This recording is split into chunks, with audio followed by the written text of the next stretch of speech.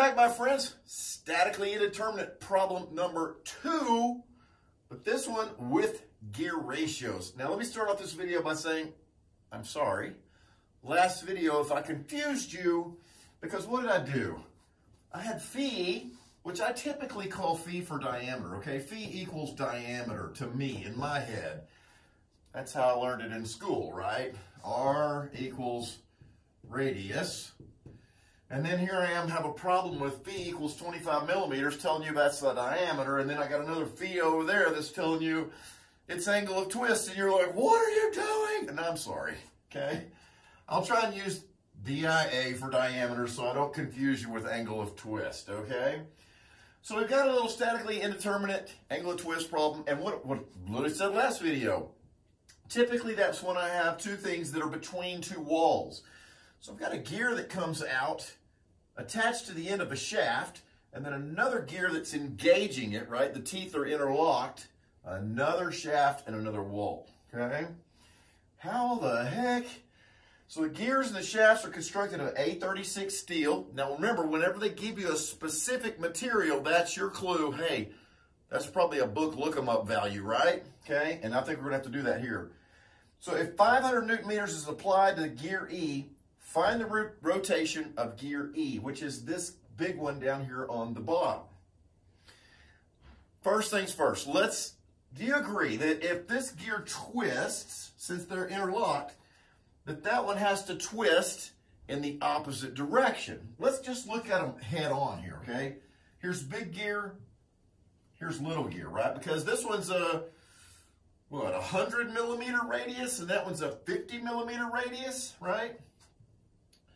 So if this one twists this way, which way is this one going to go, right? Because those teeth are interlocked, right?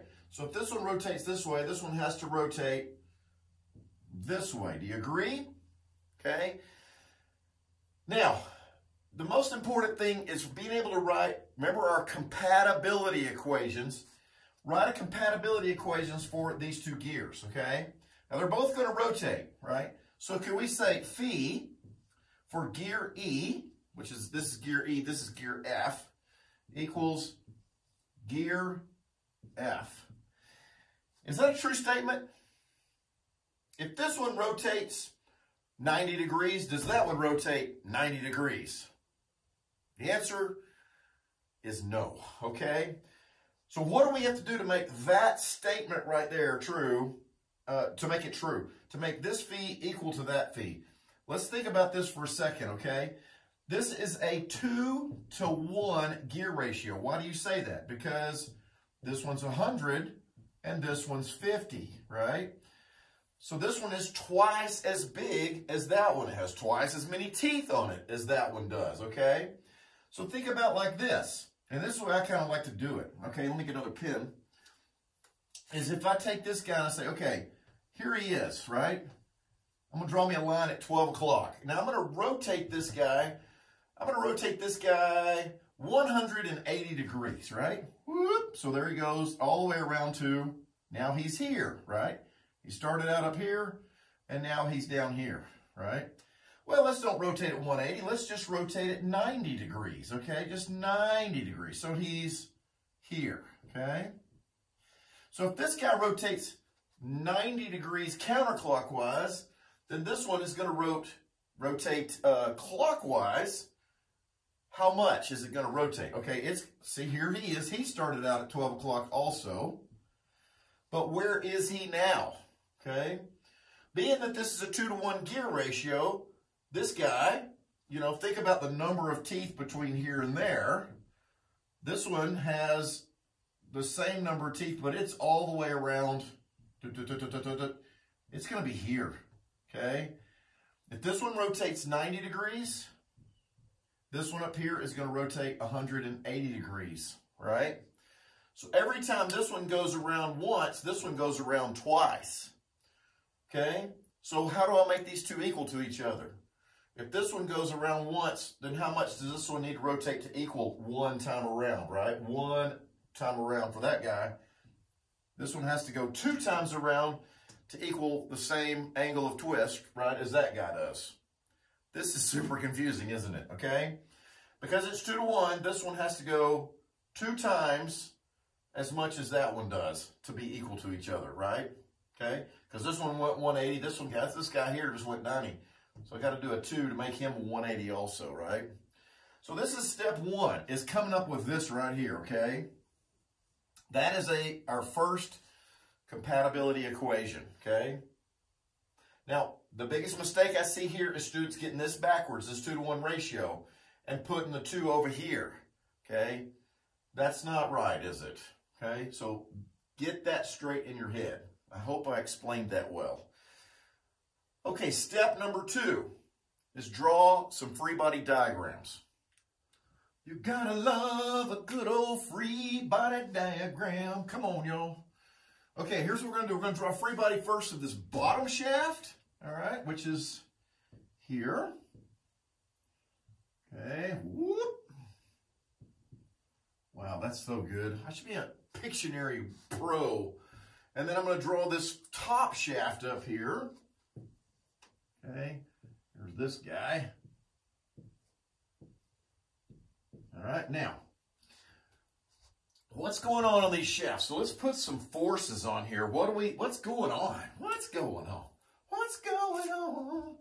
Let's talk about this guy here first. This is our applied load, or torque, 500 Newton meters, okay?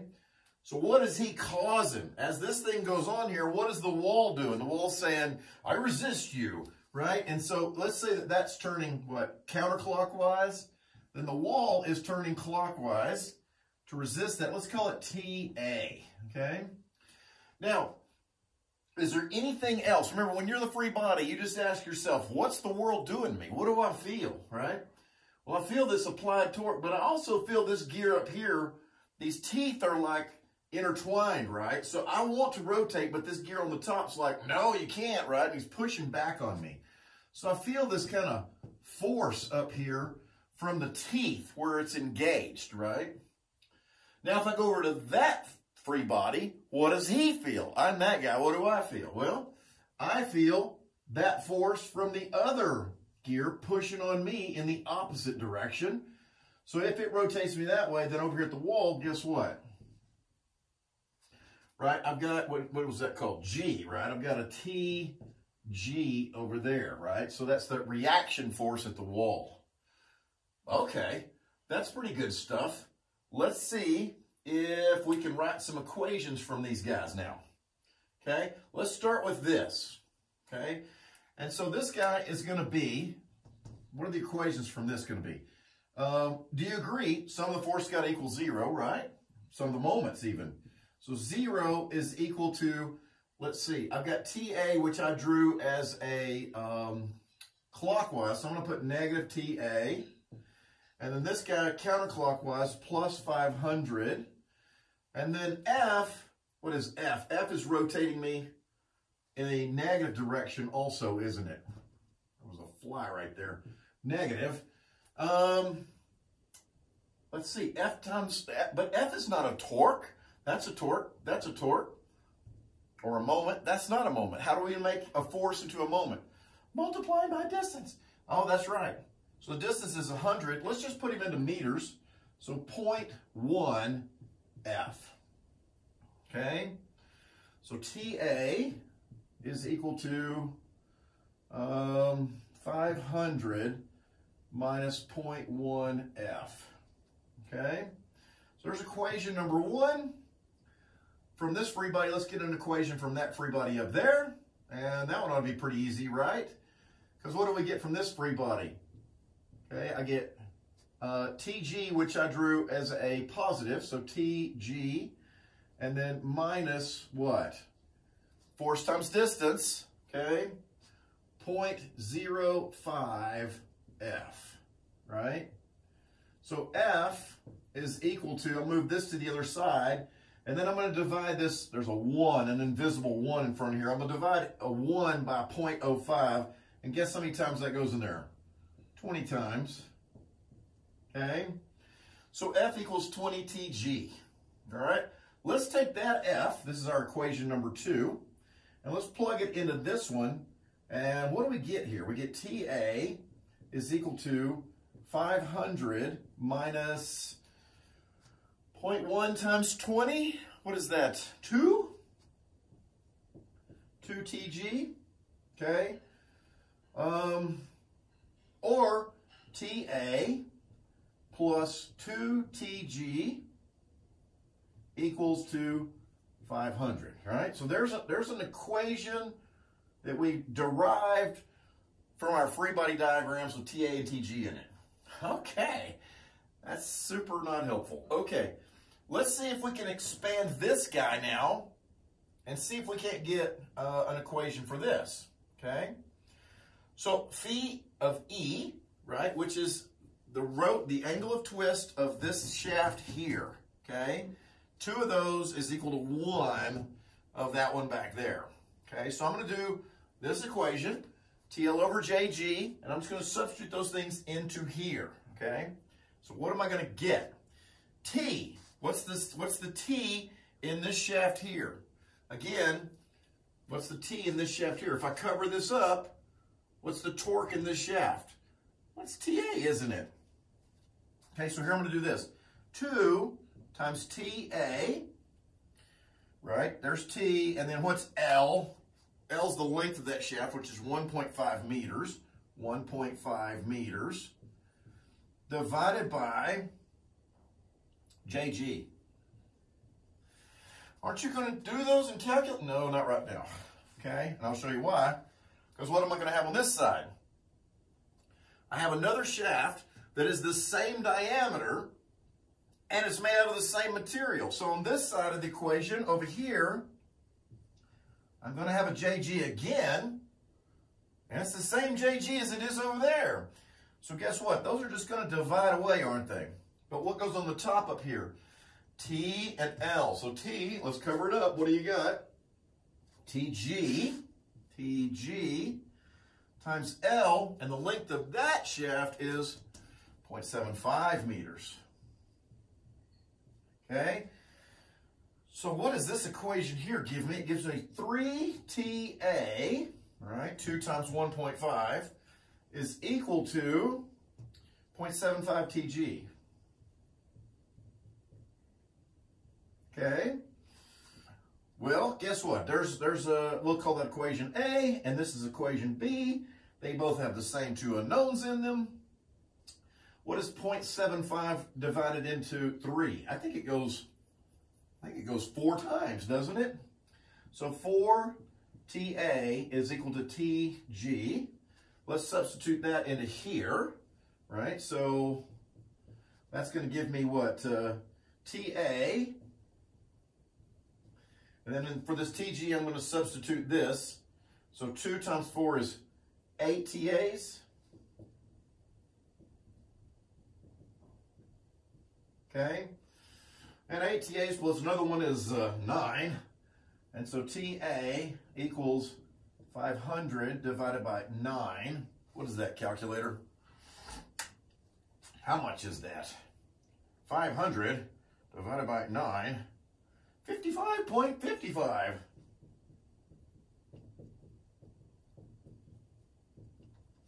Now, what do we just find? We just found the reaction at the wall at A, okay? Can we find the reaction of the wall at G, that reaction over there? Yeah, I think so because it's just, uh, TG is just four times what we just found. So times four, 222.22. Okay? So all of that, now we know these two reactions at the wall. This one here is 55.55, and this one over here is 222.22 Newton meters, right? Newton meters. Newton meters. Okay? Bueno. But wait a minute, that's not what they asked me to find. They said find, um, find what? Find the rotation of gear E. So we need to find how much does gear E rotate. Well, if we found the rotation in that shaft right there, I think we'd be there, wouldn't we? Let's try that. Okay, do we know a, a, a, a, an equation for calculating rotation or angle of twist? Yes, we do. Okay, let's get rid of this. Okay.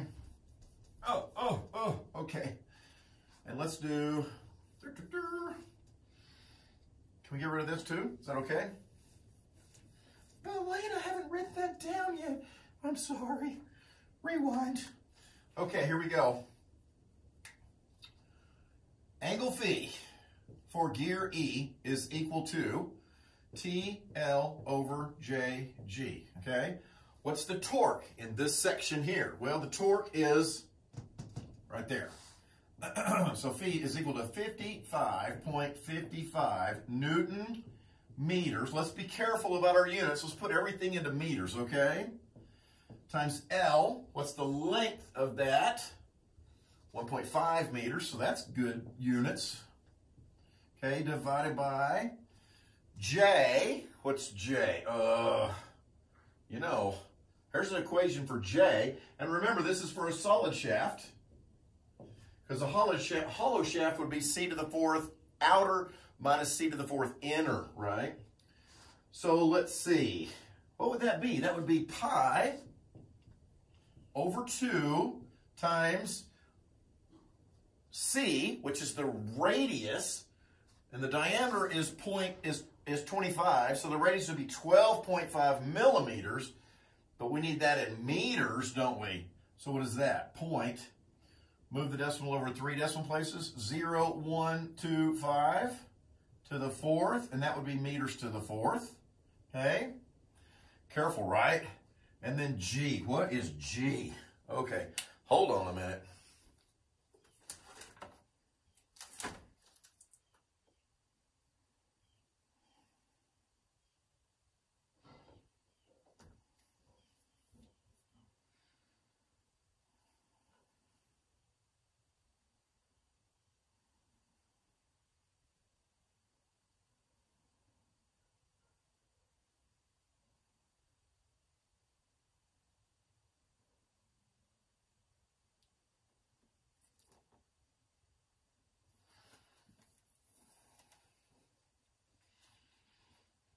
All right, we can look up G in the back of our book, okay? For A36 steel, we need to be on the SI table, not on the U.S. customary table, but on the SI table.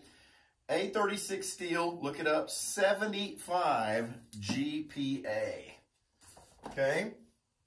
I don't even know what that means.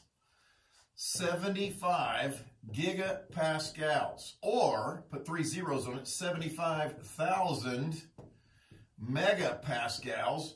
Well, that's a Newton over millimeter squared, right? But we want it over meter squared, so we can, instead of mega, we just need plain old pascals, don't we?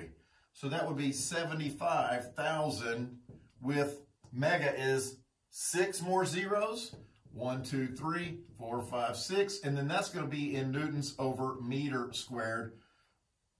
That way my newtons will cancel out, all my meters cancel out. That's way better, right? Okay, so here we go. Let's put that in here. 75, 1, 2, 3, 4, 5, 6, 7, 8, 9. 1, 2, 3, 4, 5, 6, 7, 8, 9. Don't be afraid of big numbers. Newtons over meter squared. Okay? And so phi is equal to, here we go. We got to divide all this mess out, don't we? Let's see what we get here. 55 point, uh oh, clear. 55.55 times 1.5 equals, um, let's see, that's 83.825. Ah, this is the hardest pen to get off there. 83.325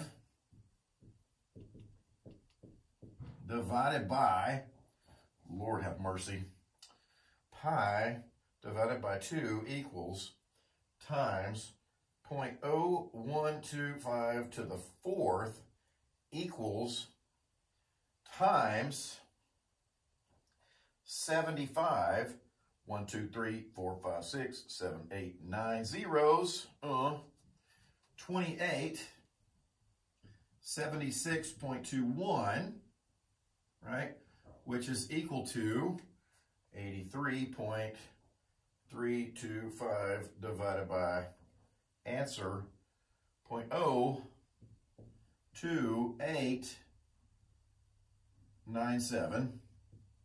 And that's radians, okay? That's in radians.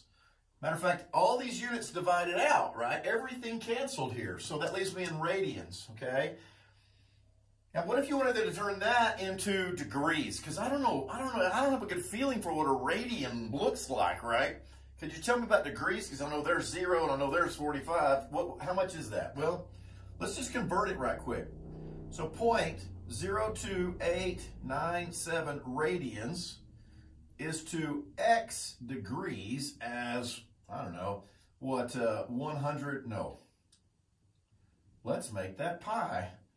Pi radians is to 180 degrees. Let's see, so that number times 180 equals divided by pi equals, and so x is equal to 1.66 degrees, okay? And that is the rotation of gear E, okay? And of course, gear E is going to rotate in a, what, counterclockwise? And there's people are always asking, like, is it clockwise or counterclockwise? Well, it depends on your perspective. If you're looking this way at it, it's counterclockwise. But if I'm looking at that end of the shaft, it's clockwise, right? So it's hard to say if it's counterclockwise or clockwise. It depends on what your perspective is. But I can tell you that it rotates 1.66 degrees. All right, that's about hard a question as you're going to see on a test right there, okay, for torsion. If you can do that, you can do anything I throw at you this semester. Man, I hope that helps. See you on the next video, okay?